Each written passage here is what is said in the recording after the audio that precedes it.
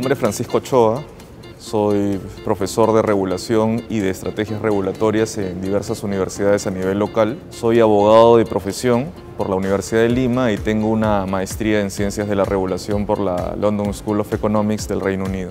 Tengo también más de 10 años trabajando para la Autoridad de Evaluación y Control de Regulaciones a nivel nacional dentro del INDECOPI. El nombre del curso es Buenas Prácticas Regulatorias y está dirigido a tanto servidores públicos, personas que trabajan en el sector público, como personas que trabajan en el sector privado. Tiene 11 sesiones con temas de regulación, introducción a la regulación, aspectos constitucionales de la regulación, análisis de impacto regulatorio en algunos casos, procedimientos de eliminación de barreras y además un componente importante que es cómo evaluar los resultados de una regulación. Eh, otorga diversos beneficios a los participantes. En primer lugar, desarrolla contenidos que no son frecuentemente vistos en facultades de Derecho, en pregrado Economía, sino que brinda aspectos de calidad regulatoria y también de cómo exigir la eliminación de regulaciones ilegales. Permite a los profesionales que trabajan en el sector público conocer nuevas herramientas para desarrollar su trabajo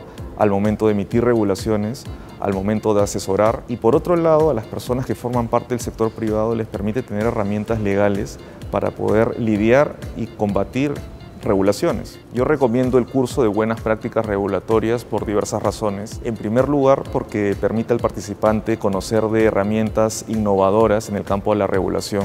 En segundo lugar, tiene horarios bastante flexibles para todas las personas que participen en este curso. Además de ello, por la naturaleza de este curso, es posible intercambiar diversas experiencias y hacer un interesante networking en materia regulatoria.